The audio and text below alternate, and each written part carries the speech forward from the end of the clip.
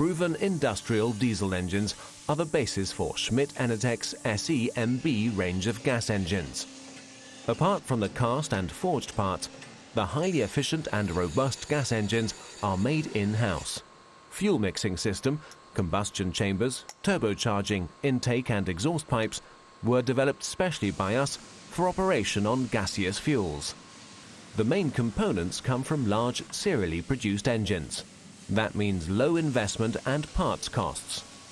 Our engineers are constantly working on the further development of our engines and generators with regard to effectivity improvement and serviceability.